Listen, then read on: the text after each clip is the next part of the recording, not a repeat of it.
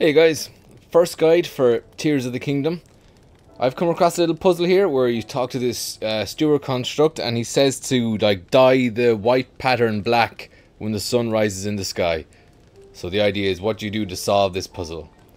So you need to rotate this pillar, whatever it is, using this kind of uh, arm yoke.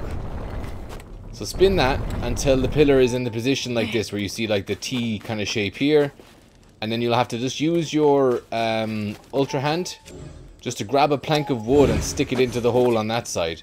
So your pillar should, without falling off the cliff, should sort of look like this. And the reason it needs to look like that is it needs to match this stone pattern on the wall over here.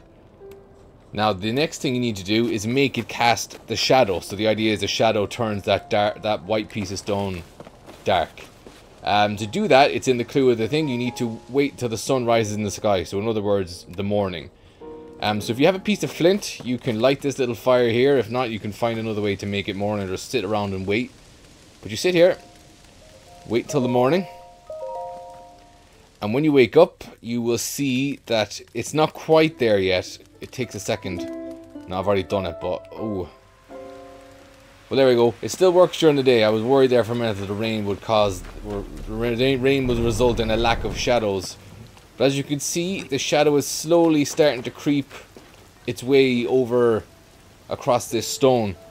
So what you really got to do is just wait another couple of seconds. I won't bother waiting for the whole timer to complete. The, the I've already got the shrine to appear anyway.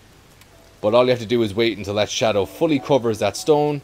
And a little cutscene will happen where the shrine appears. And there you go job done. So there you go. Hopefully that helps you. Talk to you later.